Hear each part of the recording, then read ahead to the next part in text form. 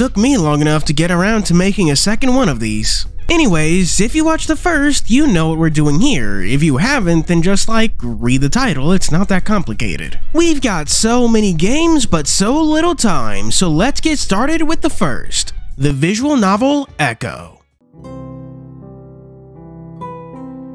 Dropping the internet character for a bit, I started playing this game as a communications major in the middle of college, which is exactly what the protagonist of this game is. When the game talks about Chase pulling out his camera for a school project and adjusting the white balance, that's something that I know. That's something that I've done. This game hit me harder than it does most, to the point that I'm exclusively using footage from the game's prologue because I think this is 1000% something you should play for yourself. Keep in mind, this game is raw, heavy, and intense, with content that's not suitable for children and designed to make adults uncomfortable. It took me nearly half a year just to get through this game. Not that it's bad, it's genuinely one of the best games I ever played. I'm going to give it a 10 out of 10 just so you know. The writing is stellar, the art is good, and it's easy to see why it's considered a masterpiece. But I'm getting ahead of myself, so let me pull back. Don't let the furry characters fool you. Echo is a horror visual novel, and it's a damn good one made by the team Echo Project and is a part of the Echoverse, which comprises three visual novels which share the same setting but different time periods. The Smoke Room takes place in the Wild West when the gold rush town of Echo was new and fresh. Arches takes place in the modern day when the town of Echo is pretty much all but abandoned. And the one we're talking about is the one that started it all. The game simply titled Echo. The game is rated 18 and up, and while it doesn't show anything explicit, it does go out of its way to describe it. You play as Chase Hunter, a college otter returning to his shitty hometown to reunite with his friends for break. We have TJ, the religious kid, Jenna, the mom of the group, Leo, the closest thing the group has to a dad, Carl, the weed smoker, and Flynn, the one who wants to know the truth. The truth of what, you ask? Well, way back in the day, when all of them were kids, they had another friend, Sydney. But he drowned in Lake Emma and died, or at least that's what the only one to see what happened says. It's this one event that pervades the entire narrative and defines who these characters are. They're all united in this shared nightmare, but they all have their own personal nightmares shitty home lives, anxiety issues, obsessions, and paranoias that you get to see in depth because Echo is a game that should be a visual novel. If you've never played a visual novel before, know that visual novels basically play like one giant social link from Persona, although I suppose it'd be better to say social links play more like small visual novels. Echo takes advantage of its medium by basically giving every one of the main characters their own story with their own ending. After a short prologue, you're given the option to select which character to follow and thus decide basically how the entire game goes. Not only does it keep each of your runs through the game fresh by always giving you something different, but it also gives the game the opportunity to ask and answer a lot of questions of what happens between each run. So as you read through each route, you're slowly putting together the pieces of character and world building.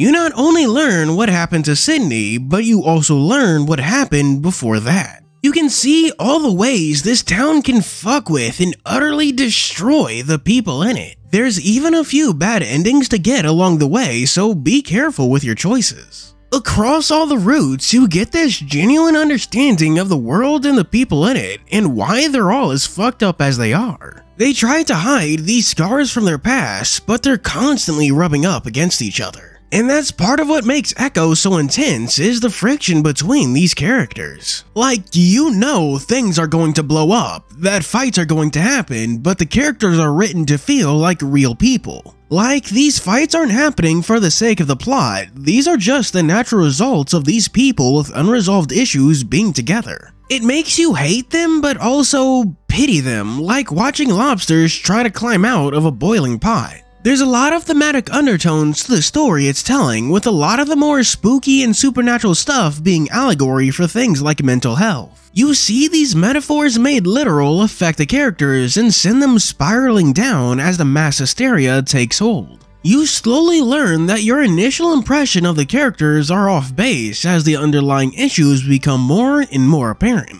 Like, let's use the protagonist for example, because unlike other visual novels, this one's not an insert, he's an actual character. Very early in the story, he's actually called out for being a visual novel protagonist, bland, boring, and passive. And as you go through routes, you learn more and more about him that changes your opinions of him. In fact, Chase himself is probably the most divisive character in the visual novel. There's people who think he's the victim, the perpetrator, and just straight up the main antagonist. Echo takes a lot of the tropes other visual novels use and manages to put them in a new context and light that makes it clear how horrifying those tropes are in reality. You can want to dote and protect a character too much. That love interest who always gives you attention is not the kind of partner you want. I know this part of the video has been all over the place, but it is really hard to talk about Echo without spoiling things. It's the kind of game with hidden details that only make sense way later and then you're just like, whoa.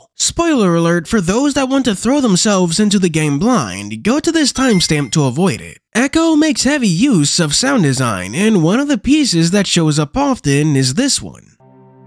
However, later you learn of something called the hum, a sign of Echo twisting those within its borders. And it's described as this long droning sound, like a tuning orchestra. The moments that it hits is the moment your mind is just blown. It recontextualizes so many interactions, lacing them over with this added layer of tension, knowing characters are being twisted around and fucked up. Welcome back to those who skip to the timestamp. I've barely been able to touch upon what makes Echo great in this short review. Like how even the name of the game, Echo, relates to this story about trauma, how it never goes away and will continue to affect us even after it passes, like an echo. I plan to make a full-length video essay talking about my thoughts on the game at some point. I just gotta collect the footage first, but Echo is so heavy and deep you'd have to kill me before I replay it again. That won't stop me from giving Echo a 10 out of 10. It's free to play on PC and Android, and I have a link to it in the description.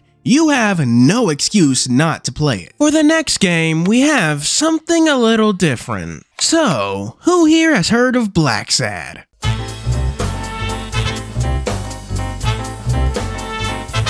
What's different about this one is that rather than just being a video game, Blacksad is primarily a comic book series. Pinned by these two guys, it follows the exploits of a noir cat detective trying to do his best in an unjust world and yada yada yada. If you're into that sort of thing, hell, even if you aren't into that sort of thing, I'd recommend you give the comics a read. I'm a pretty big fan of the series, to the point that I own every comic hardcover, so it should come as no surprise that I've also ended up playing the game.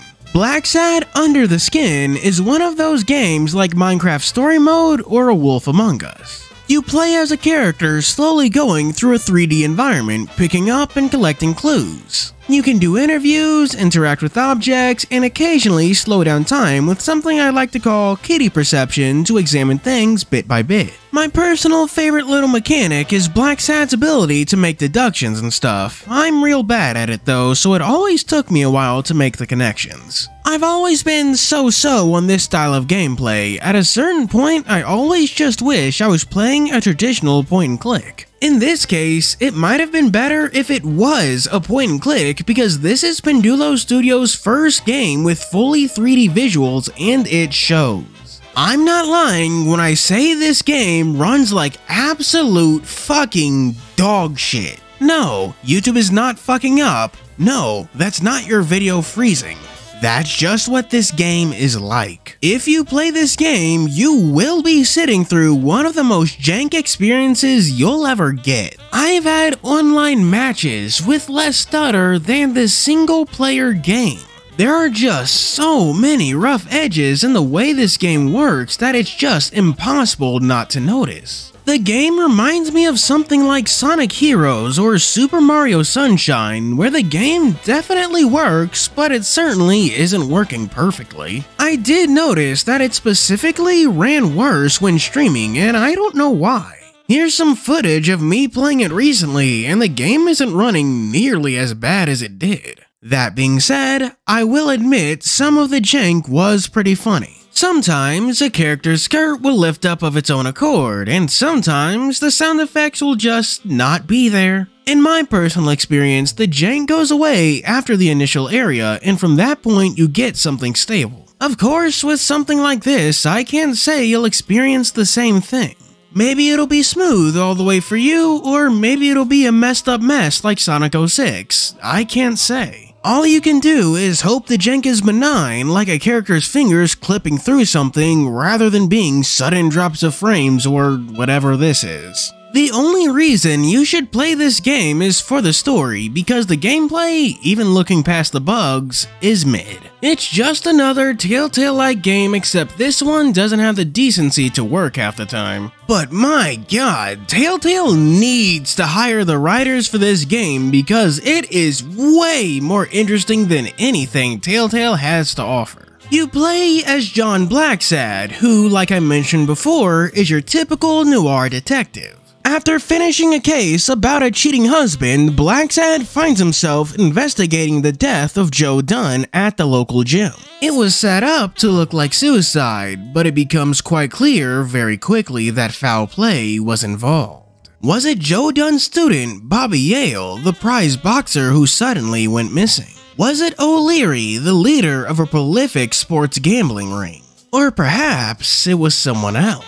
You'll quickly be knee deep in this 1950s noir world of animals. And the game does a wonderful job of bringing that world to life, including all the ugly bits like the racism that's ever present in the comics. And while a lot of the characters you see in game are originals, they fit right into the world of Blacksad. The actual creators of the Blacksad comic were heavily involved in the game's production as consultants, so that's probably why it just works so well. The comics have always had some central idea or theme behind their stories. Whether it be racism and neo-Nazis in Arctic Nation, the Red Scare in Red Soul, or even drug company malpractice in A Silent Hell. The focus of Under the Skin is sports corruption, examining the way things worked when stuff like doping and bribes were common. It's an interesting subject that I don't think has been explored in literally any other thing I've watched or read. And the game does a wonderful job of bringing the comic's art style to life where characters manage to look realistic but also cartoony. I mean, so long as we don't bring any women into this. That's not a game thing, that's just a Blacksad thing. I genuinely don't know why he draws anthro women like that. It scares me. Putting the scary women aside, the game does have a breadth of options that allow for player expression. I like that the game keeps staying silent as a choice rather than always forcing you to speak. The game knows that an action is an action and will remember that. The game does implement QTEs, but they really aren't anything special. It's just a standard move your sticks and push buttons and all that. I do appreciate all the unique death that can happen if you fail though. One of the game's biggest virtues is definitely its soundtrack. It's full of that classic noir jazz that really gets you into the mindset of a noir detective. The streets may be a cruel mistress, but god damn it, she has banger after banger. Sadly, the music isn't enough for me to give this game more than a 6 out of 10.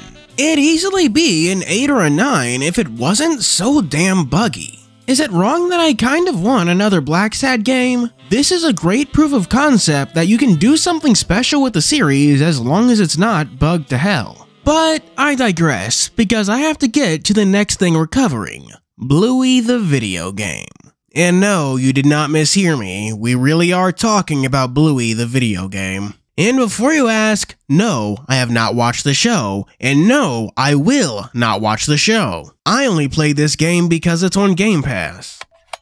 So, how good is this Bluey game? Should you buy it even if it's not on Game Pass? Spoiler warning, no, you definitely shouldn't. You shouldn't for a variety of reasons, but let's start with the fact that the story is one giant nothing burger. Basically, Bluey and her sister Bingo are on vacation when they discover an old map to their dad's treasure. The game essentially takes place over four days, with each day involving meeting characters from the show and getting a piece of the map from Bandit's brothers. In regards to gameplay, it's it's playable, I'll give it that. You can choose to play as any of the show's four main characters. I personally went with Bandit Heeler because I keep seeing his wing on my timeline and I think it looks really nice.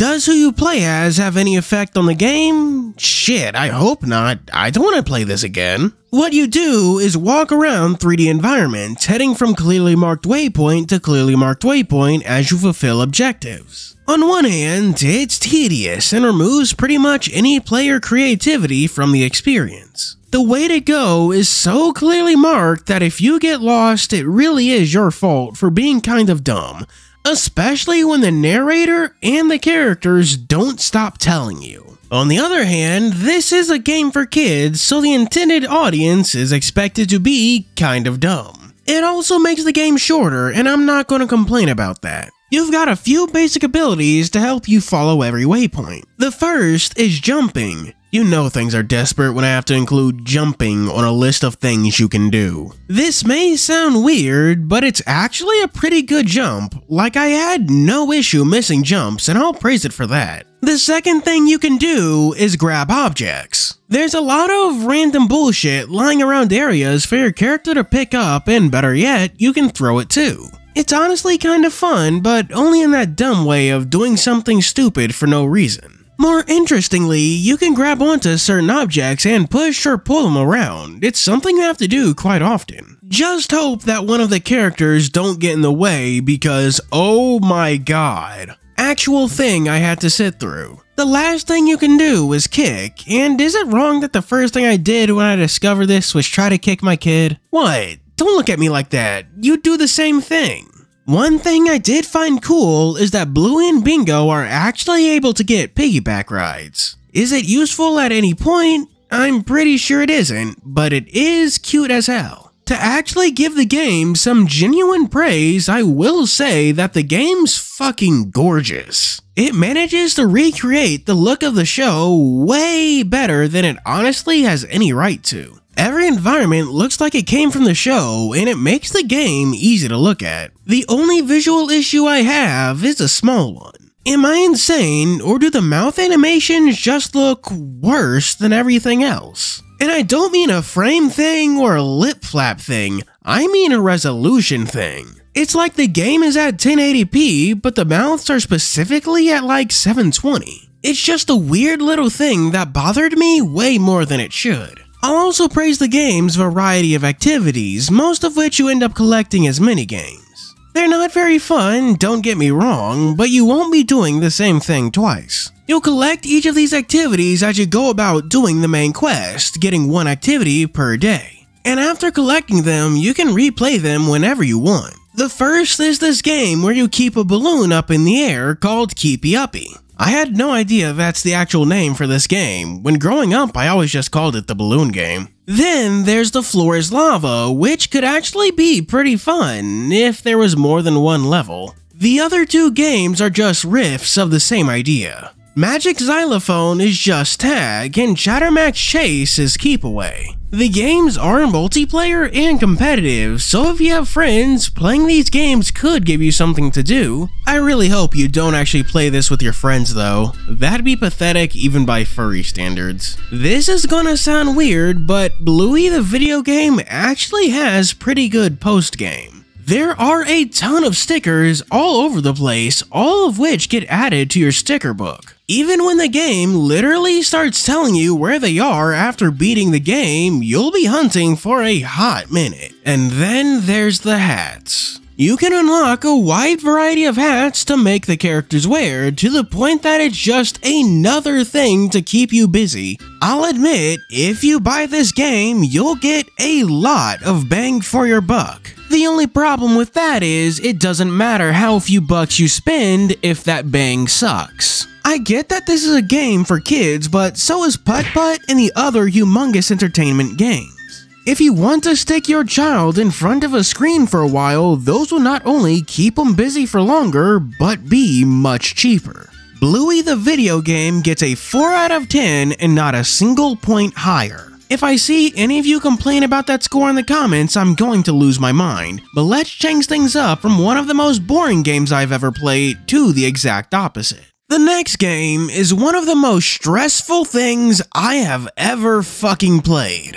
It's a Chinese game called The Heartbeat. The game only cost $1, and that is a fitting price tag because the game doesn't offer hours of playtime or much variety. But what it does offer is quite the unique experience. It's the year 2077 and you play as the mayor of New Dunk City, which is currently going through a complete crisis. A strange virus is causing people's cybernetic implants to start malfunctioning, there's civil unrest, companies looking to make a profit, funding for impoverished groups and humanitarian needs, and even religious outcry. You also have your own wife and kids to worry about, but before you can head home, you rupture a vein. But your secretary has a temporary prosthetic for you to use so you can finish your work. Wait, really? Finish my work? I just ruptured a vein. Send me to the fucking hospital. Sadly, the temporary prosthetic is manually operated, so as you make your decisions, you best not forget to pump your own blood. The life of New Dunk City is in your hand, and your own life quite literally is too. It's that simple concept that got my attention and made me fall in love with this game. The idea of having to beat your own heart is so wonderfully stressful. It elevates what would be a pretty boring game where you just answer questions from your secretary into something that gets your own heart racing. From the setting of knowing your city is on the brink of destruction to the wife and child at home you hope to see at the end. Everything about the heartbeat, from the setting to the game's mechanics, just scream stress. Look at this! You have to multitask like a motherfucker, Read this entire block of text, decide what's best for your city while beating your own heart. And the game's actually pretty hard too, you barely have enough time to get through all the questions. If you don't manage to finish your work before dying, you get a game over. It's a cruel system that definitely could turn some people off. If you don't like the time system from Majora's Mask, you're going to fucking hate this game. It demands good execution, where missing a few beats might as well give you an immediate game over because you won't live long enough to finish your work. The fact that halfway through your heart will fly into a panic and then you have to pump even faster? It will take years off your lifespan. And I like the questions and responses too. Yes, they are huge blocks of text, but a lot of the added detail goes a long way to making the world feel real. There's so many extraneous details you find yourself just forgetting it's a game. It feels like you're reading a real report in all of its dry banality, which could easily get boring, but the game's stressful mechanics keep your attention. And your responses are nice and varied, giving you more than a good or bad option. And these responses do matter when it comes to the ending. Will your city cede into authoritarianism? Will the virus pass with minimal casualties? That's all on you, so be sure to think through the consequences of your actions. Or don't, because remember, you have a time limit. The game's stress-inducing nature and difficulty could be a turnoff for some, but the game lets you pick back up quickly and the questions never change, so it's totally possible to just memorize them. Sadly, that also means the game is a one-trick pony where there's not much variety in what you can do. But the heartbeat takes a unique concept and does it well even if that's the only thing it does. And the game's only a dollar, so you know what? I don't care if it only holds my attention for one or two hours. I'll give this game an 8 out of 10. It's a one-trick pony, but damn, it is a great pony. If you do try the heartbeat for yourself, do make sure to set the language to English in the options menu. Figured I should mention that before we move on to the final game. Okay, so I don't write these videos as a singular script, rather as separate pieces I can put together into one sequence. I'm telling you this because I originally started this segment with an introduction to Echo Project and all their games and stuff, but seeing as how I already did that, I have no real way to introduce this game. So, um, Glory Hounds a visual novel made by Echo Project, but very different from their other games. Rather than being a space opera or whatever Echo is, this is a game about superheroes. Before I get into the characters or the setting, I want to discuss the visual novel's visuals. solely because this visual novel has one of the most wonderful visual styles I have ever seen. Fundamentally, Glory Hounds is about superheroes, so the art style looks like a comic book. All the characters are drawn with those Ben Day dots like those old comics. What's even cooler is this. Rather than getting CGs, we get comic pages. These comic pages are wonderful and I prefer them so much more than regular CGs. They just add to the feel, making it super easy to get immersed in the world and its characters. But let me actually get to introducing things. The country is Batvia, which is kinda sorta like Scandinavia, and the city is Shippersburg. Our protagonist is the Dalmatian Alex DeRoy, who's finishing his day by unwinding at his favorite gay bar with his favorite gay friend.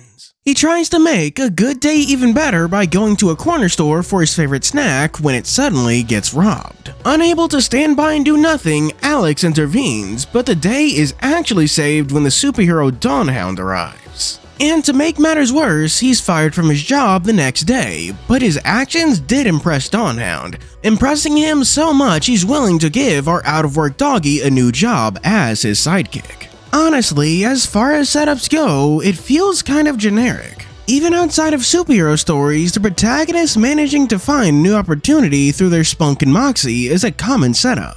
And it's not helped by the protagonist fitting into a very basic everyman kind of role within the story. Even later on, when we learn that he wants to be a superhero to get out of this rut he's been stuck in in life and be like his father who's a firefighter actually out there and rescuing people. Like yeah, it's consistent character motivation and it does make logical sense, but it's also not the first time I've seen something like this. Alex is yet another good kid who's pushed to save people to follow in the footsteps of his role model, like Peter Parker with Uncle Ben or Deku with All Might. Alex is basically Deku if Horikoshi wasn't a coward and made him a gay failboy. Thankfully, the other characters are much cooler, my personal favorite being Dawnhound, aka Raoul Brevard, CEO of Brevard Enterprises. You expect him to be kind of like Batman, super rich CEO with no magical powers. He even has a butler. But Dawnhound is very unserious. He's not dark and brooding, rather, he's goofy and fun-loving. And when out of costume, you also find that he's pretty shy. He's just one of many multifaceted characters in the visual novel. The weakest part of Glory Hounds really is the protagonist. Alex is just so standard. The writing around him is good, he gets interesting jokes and doesn't bore me, but when I try to dig deeper into him, I just find nothing unique. And it's so weird because usually this problem happens in visual novels where the protagonist is faceless, but no, Alex does have a face, he's just always overshadowed. Even the antagonists are more interesting than Alex. Ahab is a giant whale criminal who speaks like a pirate for no actual reason. He's also gay and kind of maybe sort of dating our protagonist. And Camus is a chameleon thief obsessed with fashion. Camus even has a habit of joining Alex in breaking the fourth wall. And Alex just doesn't compare to these people, and it's a real shame too, because I know Alex has much, much more room to grow and become more interesting. My personal take on the problem with Alex is the lack of an unresolved issue. Using Echo for example, the protagonist in that game, Chase, has a ton of unresolved issues which push him forward into the story. Just naming a few off the top of my head, there's Sydney, his school project, getting back together with Leo, and etc. However, Alex doesn't necessarily have a personal issue driving the story forward. There was that listlessness and desire to do more, but after becoming Dusthound, he kind of resolved it. That being said, the visual novel manages to work past the protagonist due to very strong writing. In a genre that's saturated with thriller, horror, and drama, for Glory Hounds to just be a straight comedy and good comedy is quite refreshing. It makes Glory Hounds an easy, fun read that is thoroughly enjoyable. The visual novel is also linear, adding to the ease of reading because you don't have to worry about all those choices and stuff. I also won't hold Alex's boringness against the visual novel too much. It's only on chapter, no, well, actually, issue 3, get it, like a comic issue? So cute. So there's still a lot of room to grow on Alex's part. Glory Hounds is a visual novel I thoroughly enjoy. I'm going to give it a 9 out of 10, but if it keeps this up, when it finishes, it's definitely going to get that perfect 10 out of 10. I actually really liked making this video and definitely should get to making a third one. I just need to get off my ass and actually play those games so I can review them. Do remember that I have a link to the itch or Steam page for all of these games in the comments section, so do be sure to check that out. But as much as I enjoyed making this video, I do have to end it, so let's get right to our Patreon shoutouts. For our 3 stars, we have special thanks to 87 Werehog, Deku, Zora Chow, Choron, Garon LaFay, Dragging Yara, Unknown RC, Lightning Shadow, Kayun, and Maronla. For 4 stars, we have Miki Moon and Miko, the Wrecking Crew. And for our Super D2per special 5 star shoutouts, we have First, Vanilla Flower, the lost arch nemesis. Second, Poor Mage, the side hustle. Then, the good old days, the crisis at Coney Island. Followed by Hodari Lion, the king of the spill. Next, Guy King 64, the roof running reptile. And finally, Mahogasaur, the wrath of the lady. Thank you for watching. Do be sure to like and subscribe and check out my Ko-fi and Patreon. As always, this is Fury signing out.